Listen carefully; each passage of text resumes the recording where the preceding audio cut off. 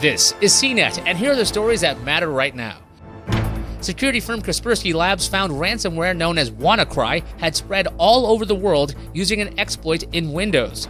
WannaCry infected several medical institutions, including the National Health Service in the UK.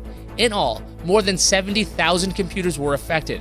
A researcher from Proofpoint and another person who tweets under the handle at Malware Tech Blog noticed a hard coded kill switch in the malware. WannaCry reaches out to a domain name. If that domain name is live, WannaCry would stop. So, at Malware Tech Blog purchased the domain name for around $10, ending WannaCry for now. According to CNBC, Spotify may hit the New York Stock Exchange either by late 2017 or early 2018. Instead of an IPO, this would be a direct listing.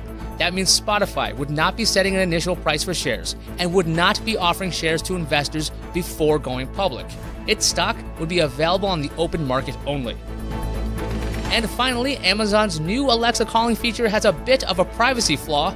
There is no way to block individual people from your contact list from calling you. Amazon just recently introduced Alexa calling and messaging when it introduced the Echo Show.